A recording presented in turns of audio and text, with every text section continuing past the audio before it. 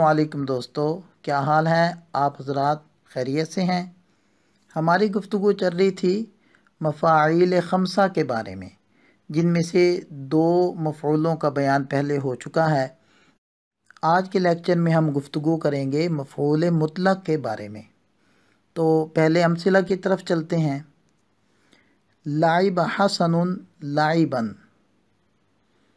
ख़तफ़लबुद्दजाजत ख़तफ़ा यशरबुतिफ़लबन शुरबा यसिबुन्नमिर वसूबल असदी मर्रल क़ितारु मर्र सहाबी जरा खालिदुन जरियन सरिया अकल अलीजुन अकलतैन तदूरुल अर्ज़ु दौरतन फिल यौमी ज़रबल खादिमुल अक़रबा ज़रबा अब इन अमसिला में आपको मंसूब इसम नज़र आ रहे होंगे, जैसे लाइबा, ख़तफ़ा, शुरबा और वसूब असद, मर्र सहाब, जरियन सरिया, अकलतैन, दौरतन और ज़रबतन।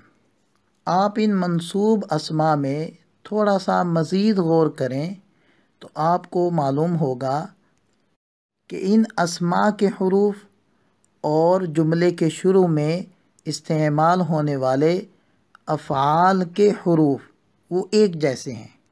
तो एक बात तो तय हो गई कि इन जुमलों में मंसूब असमा और अफ़ाल इनके हरूफ एक जैसे हैं। अब अमसिला के पहले ग्रुप की तरफ़ चलते हैं। तो जब आप इन मंसूब असमा के माना में गौर करेंगे तो आपको अंदाज़ा होगा कि इन मंसूब असमा के जुमले में आने की वजह से जुमले में मानवी एतबार से थोड़ी सी तब्दीली वाक़ हुई है।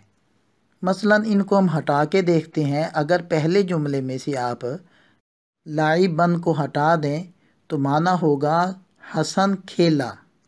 लेकिन जब लाइबन को लगाया तो माना हुआ यकीनन हसन खेला। तो देखें जुमले में ताकीद और ज़ोर पैदा हो गया और सुनने वाले को जो शक हो सकता था, वो शक उसका ख़त्म हो गया। ऐसे ही बकिया दो अमसिला में भी आप गौर कर लें। अब आप आ जाएँ अमसिला के दूसरे ग्रुप की तरफ़। और इसमें इस्तेमाल होने वाले मंसूब असमा को आप देखें। पहली मिसाल को ले लें कि अगर आप सिर्फ़ इतना कहें यसिबुन नमिर, चीता हमला कर रहा है तो इतनी बात से सुनने वाले को सिर्फ़ इतना ही मफहूम समझ में आया कि चीते ने हमला किया है। लेकिन उसको इस हमले की नोयत का, कैफियत का कोई अंदाज़ा ना हो पाया। लेकिन जब आपने इसके साथ जोड़ा वसूब अल असद, कि चीते ने ऐसे हमला किया जैसे शेर हमला करता है। इसी तरह दूसरी मिसाल में ट्रेन गुज़री। कैसे गुज़री? जब आपने इसके साथ जोड़ा, मर्र सहाब, बादल के गुज़रने की तरह गुज़री तो अब जुमले में मफहूम बढ़ गया, माना ज़्यादा हो गए। ऐसे ही खालिद का चलना एक तो मुतलक चलना है, लेकिन जब आपने कहा जरयन सरिया, तेज़ी से चला तो अब जुमले के माना और मफहूम में इजाफ़ा हो चुका है और जुमले की कैफियत और नोयत बदल चुकी है। अब आप तीसरे ग्रुप की तरफ़ आएँ कि पहले जुमले में आपने कहा कि अकल आलीन अकलतैन, आप अकलतैन जो मंसूब इसम है, इसको हटाएँ और सिर्फ़ कहें अकल आलीन इससे क्या माना समझ में आया कि अली ने खाया। खाने की नस्बत अली की तरफ़ हो रही है। इससे जायद और कोई मफहम आपको समझ में नहीं आया। लेकिन जब आपने कहा अकलतैन, दो मरबा खाया तो अली के खाने वाले फ़ेल के साथ साथ आपको उसकी तादाद और गिनती का भी इल्म हो गया। ऐसे ही ज़मीन का चक्कर लगाना एक तो आपने कहा कि ज़मीन घूमती है या घूम रही है, लेकिन जब आपने कहा दो रतन फिल यौम, दिन में एक मरबा घूमती है तो देखें घूमने की तादाद आपको मालूम हो गई। इसी तरह आप तीसरी मिसाल में भी देख लें कि ज़रबतन लगाने के बग़ैर तर्जमा होगा, खादिम ने बिच्छू को मारा।